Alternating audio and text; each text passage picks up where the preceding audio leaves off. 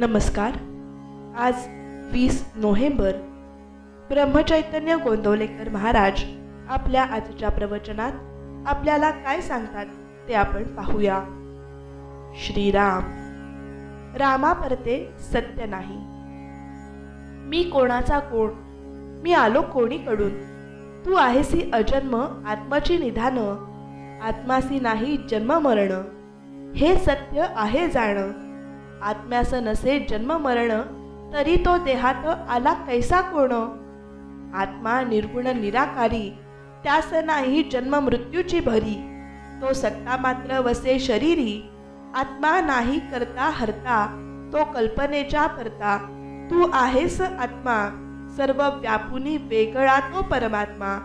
सर्व पोथ्यांचे सार सर्व साधू संतांचा विचार परमात्मा एकच सत्य जाणं.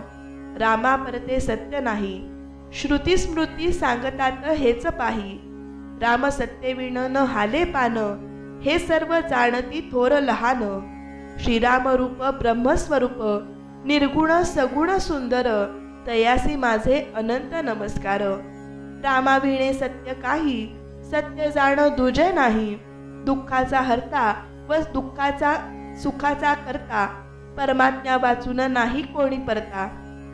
रामापरते हित सत्य सत्य नाही त्रिभुवनात.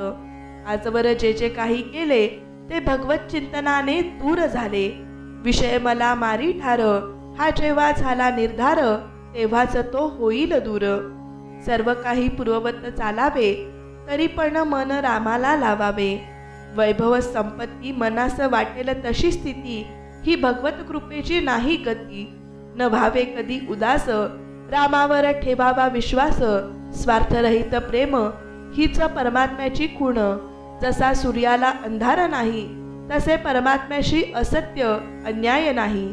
परमात्मा न्यायरूप आहे म्हणजे परमात्मा सत्य आहे.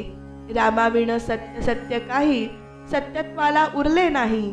आपले आधी आला आपले संगत राहिला आपले मागे उरला त्याची संगत धरतो भला.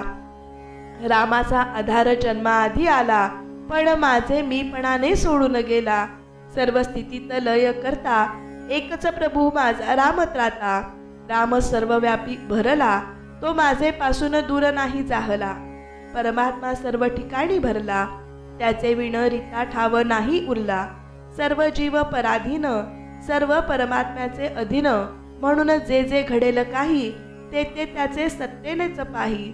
चातुर्य बुद्धी देहभाव वासना कल्पना ही मायाचं अवघी जाणा.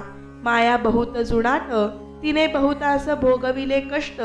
मुख्य देह बुद्धी अविद्यात्मक अविद्या पराक्रम साधी फार. तिची शक्ती फार मोठी आत्मदर्शन न होऊ देई भेटी. म्हणून जे जे दिसते ते ते नासते. हा बोध घेऊन चित्ती सज्जन लोक जगी वर्तती. श्रीराम जय राम जय जय राम श्रीराम जय राम जय जय राम श्रीराम जय राम जय जय राम